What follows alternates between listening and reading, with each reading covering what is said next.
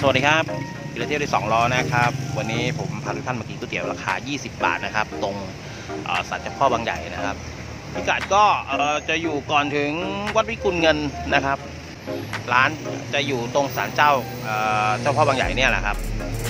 ถ้าคุณมาเห็นก็แวะเข้ามาได้เลยนะครับ จอดรถก็แถวๆนี้แหละครับเนี่ยครับก็จะจอดมอเตอร์ไซค์กันตามเนี้ยถ้ารถยนต์ก็ไปจอดซุกๆตามเทศบาลหรืออะไรตรงเนี้ยฮะใกล้ๆ ชาติอร่อยมากครับ แทบไม่ต้องปรุงนะครับ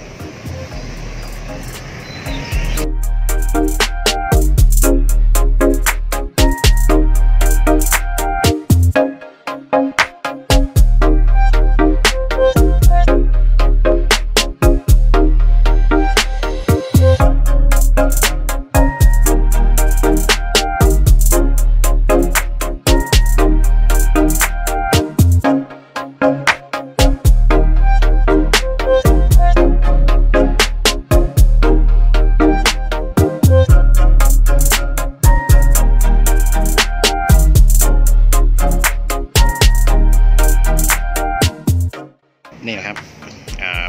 ก๋วยเตี๋ยวชามละ20บาทร้านอยู่ตรงบางใหญ่นะครับ